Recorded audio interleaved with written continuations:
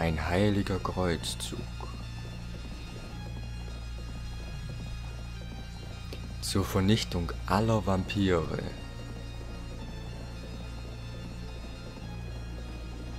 Brachte Licht in die Nacht.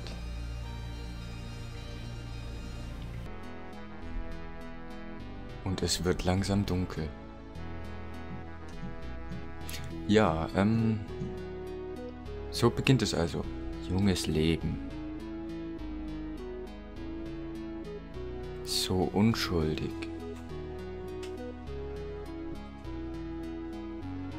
So verwundbar. So naiv.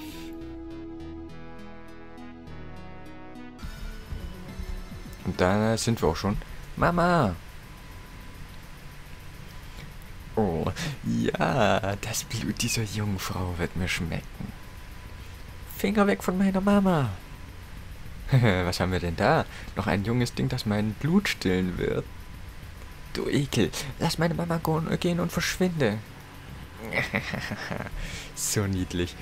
Ah, ich kann ihr Blut schon förmlich meine Kehle hinunterfließen fühlen. So warm und süß. Und schaut mal hier, wenn ich jetzt einen Menschen anrede, so als Vampir, na bleibt doch mal stehen. Wir können reden, aussaugen, umwandeln, gehen, verwandeln oder Gedanken lesen. Ich würde sagen, lesen wir mal die Gedanken. Vampire. Na, erkennt ihr ihn wieder? Was waren sie? Das wird übrigens eine der Schlüsselszenen im zweiten Teil sein, die man öfters in verschiedenen Varianten sehen wird. Was sind sie?